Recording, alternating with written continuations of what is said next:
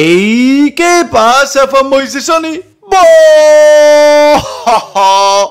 ¡Madre mía, amigos! ¡Madre mía, amigos! Atentos porque traigo una información muy, pero que muy importante.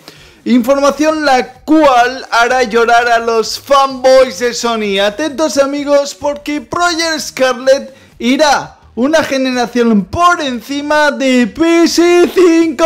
¡Sí! ¡Vamos!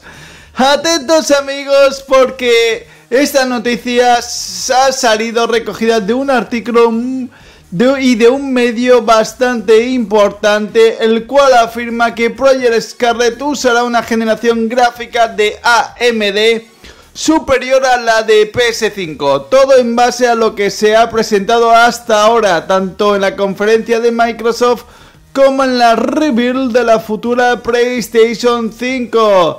Y las declaraciones de Lisa Su, CEO de AMD, esto la verdad es que es un jarro de agua fría para los fanboys de Sony. Project Scarlett usaría la próxima generación de AMD y sería una generación más potente que la que usaría la futura PS5. Atentos amigos porque la clave está en el soporte para ray tracing de una y de otra. Según la conferencia de Microsoft, Project Scarlett soportará ray tracing acelerado por hardware. Según Sony, PS5 tendrá soporte para ray tracing, pero la diferencia está en que Lisa Su confirmó que Xbox Scarlett incluiría arquitectura de próxima generación gráfica RDNA.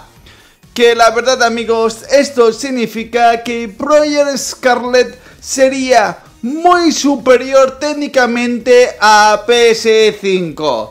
Lo cual sinceramente me alegra muchísimo. Parece ser que la vida va a seguir siendo igual amigos. Ahora mismo tenemos en el mercado Xbox One X, ¿vale? Y PS4 Pro, que son las dos consolas más potentes que hay en el mercado. Pero es que la diferencia entre una y la otra es infinita, amigos. Mientras que Xbox One X puede mover títulos AAA 4K nativos, PS4 Pro mueve los títulos a 4K pero rescalados y de sobra es que Xbox One X es infinitamente más potente que una PS4 Pro.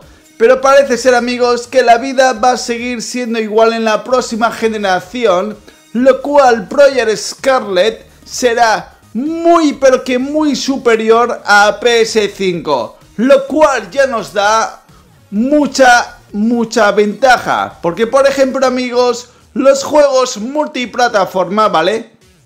Los juegos que no son exclusivos de una plataforma, pues siempre lucirán mejor en Project Scarlet.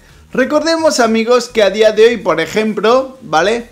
Microsoft con su Xbox One X, gracias a la potencia que tiene la consola de Microsoft, ha sacado los juegos retrocompatibles, pero además gracias a la potencia que, tiene Xbox One X, ¿vale?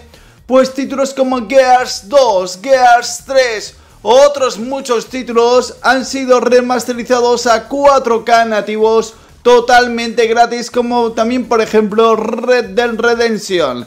Y gracias a que la próxima generación de consolas de Microsoft como Project Scarlet hará que todo sea igual amigos. Microsoft y Phil Spencer ya confirmaron que Project Scarlet sería una consola retrocompatible con todas las generaciones de Xbox, de la primera Xbox, de Xbox 360 y de la Xbox One.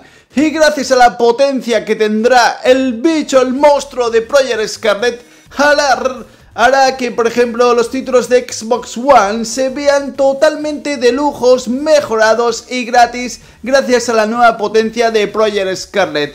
Mientras tanto, pues los fanboys de Sony jugarán a los juegos pixelados en su PS5. Para vosotros, perdedores.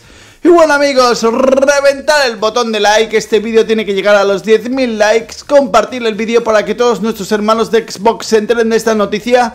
Y como dirían los fanboys de Sony al TT, venga todos juntos, TT, TT, eres un hater, hater, TT, TT, eres un puto hater, adiós.